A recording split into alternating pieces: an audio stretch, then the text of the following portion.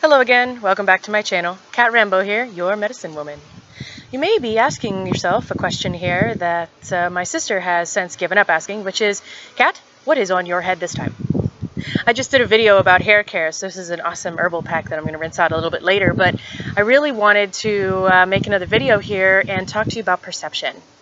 I walked into my parents' house and I noticed a great amount of animosity going on. Now it is April 15th, the Ides of April beware, tax day. So the, my father's an accountant. There's a lot of, um, let's say, intense emotions flying, a lot of stress. So I wanted to talk about perception and projection. So the truth is, we don't see in anyone else what isn't already in us. So this is how we become invulnerable also. Um, if there just isn't anger in you, then if someone gets mad at you, you're just not even going to be available for that. So you can design for yourself the life you want by choosing the types of experiences you want to have by being that person first. That's responsibility with your emotions. So um, let's talk about communication. If if you know that what you see in someone else is really what's in you, when you notice someone else acting with defensiveness, anger, stress, take a minute to reevaluate yourself and say, okay, where are these things in me? Now, it is true that um, to observe emotions that you're not living through in someone else, it, it's not that you may be present with that in the moment, but it is in you. You wouldn't notice it otherwise. You ever have uh, one of those days? You know what I'm talking about. And how does the expression go? If everyone in the room is um, is a meanie, then maybe you're the meanie. You know that uh, it's possible that when you have an amazing day and everyone around you is just, you know, such a good person, really, no matter what, it's it's okay. That uh, you've noticed this principle already, that what you're seeing around you is what's in you. So knowing that it is true, that the world around you is a reflection of yourself, if you're noticing patterns through your day, maybe everyone feels a little bit ag aggravated today, or maybe everyone's just really nice today, isn't that lovely? That um, maybe what you're experiencing is a reflection of yourself. Use that as an opportunity to self evaluate and take a look at yourself and say, where am I aggravated today? Or where am I happy today and positive and feeling good? And um, in this evaluation, it's going to give you an op opportunity to name something and then change it. So if you're not feeling good today,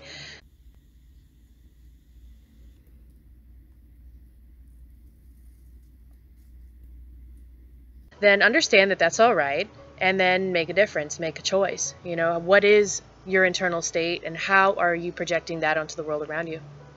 So, as we go to communicate with others, be mindful of this. It's very unfair that we do this all the time. We choose how another is going to respond or react based on their past patterns or based on how we're feeling in our current state.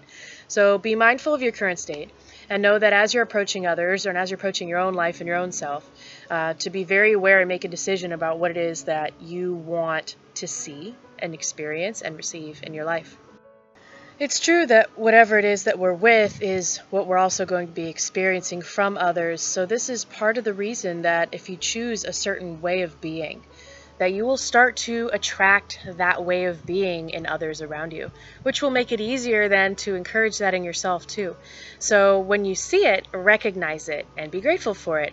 But also when you see a set of emotions, especially in the form of a pattern, that you don't love, back engineer that idea. And rather than projecting outward continuing to project outward and saying everyone around me is horrible realize maybe you're horrible. Maybe you're being horrible right now. Maybe you feel horrible. Maybe it's you because it is you so get with that idea and we've all had that breakthrough moment where we're with someone who's in a terrible mood and um, we somehow manage to stay calm, stay loving, stay compassionate, and help get them out of it, or at least be a source of peace for them. We have that option all the time. That's not a breakthrough moment, that's a way of living. So think about getting with that, and even when you see a lot of frustration around you, the trick is first to observe okay, where, where am I frustrated? You know, where am I frustrated that I'm recognizing it so readily? But then also back engineer that and say, how can I change my state to change the state of what I'm seeing and what I'm witnessing and what I'm receiving? And then how can I choose a state that not only feel good, feels good for myself, but also is a place of being able to support compassionately the people around us. Patterns around us are an awesome way to evaluate ourselves, and um, your external world is is a reflection of your internal world. So if you look around in your life and you observe a specific pattern, understand that it's look in a mirror. That's what you're looking at is a mirror. That's what's going on for you. A lot of times we see patterns in our lives that we think can't possibly be us. It's just everyone else. I have that bad relationship and it's nothing to do with me. It's just the same bad relationship again and again. We all know someone like that. That might be you, you know. But the trick to getting out of that pattern, to exiting that pattern, is to take full responsibility for it, to understand that it is you. There's something in you that is causing this pattern in your life. We like uh, cause and effect equation to have us on the effect side. They did this, therefore I reacted this way. Are you sure? How about we take more responsibility and turn that around? What if what if you were the cause and your life was the effect?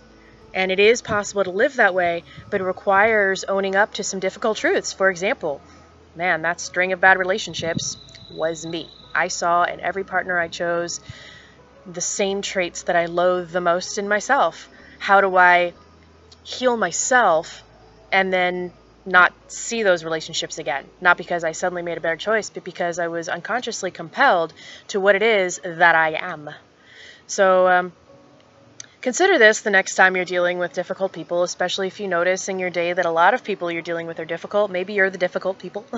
We've all been that person, and that's okay. But now that we know better, it becomes more okay to take responsibility for that, own that, change it willfully, intentionally, and then live differently, not just for ourselves, but for those around us. You know the routine like, subscribe, all the buttons. And of course, let me know if there's a topic that is interesting for you or that you're seeing a lot of in your life and would like to work through um, more proactively in order to move past faster and uh, with more clarity. Give me some feedback on what patterns it is that you see in your life and how you think that it may or may not be a reflection of what's going on in your internal world. Send me a message. I love to hear from you. Uh, leave a comment, whatever. and I'll see you next time. So I just heard something awesome. Thank you to Maddie Elise for bringing this to my attention. If you search Medicine Woman on YouTube, you have the, you know, regular litany of uh, shamans and other spirit healers and and um, but if you use my name, the associated videos are like botflies and stuff. So if anyone is a genius with how to make sure that my YouTube searches do or do not come up with botflies, I mean, I don't know. I'm kind of into it. What if what if they always do come up with botflies? Like I feel like I'm okay with that. They are fascinating. So I don't know. It's interesting. Who, who knows about how how these uh, how these things work? I, I'm not sure. Someone tell me, won't you?